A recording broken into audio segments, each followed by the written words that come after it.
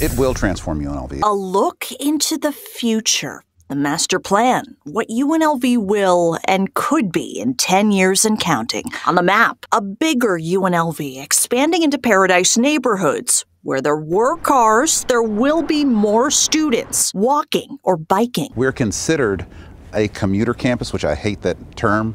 We want to be an engaged campus. We need to do that next level of growth. You will do things both on East and West Maryland Parkway. The university will get that feel of that this is a place you come to and you stay. President Keith Whitfield shared with us UNLV's ambitious expansion plan. 9,000 more students, bringing totals to 40,000 in person and online.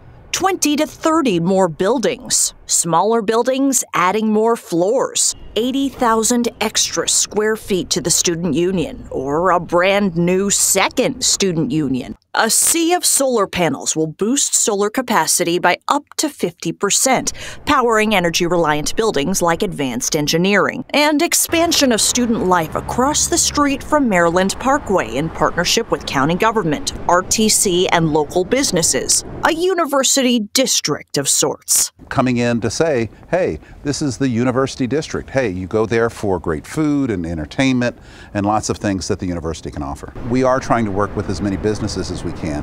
Uh, the purchase of Rebel Plaza, which we just did recently. President Whitfield says expanding sidewalks will be crucial to make this future university district around Maryland Parkway more pedestrian friendly and safer. As for the safety of more students and more students at night, there will be more lighting, cameras, buildings open longer, and a bigger public safety presence. We're still going to be friendly, we're still going to be connected.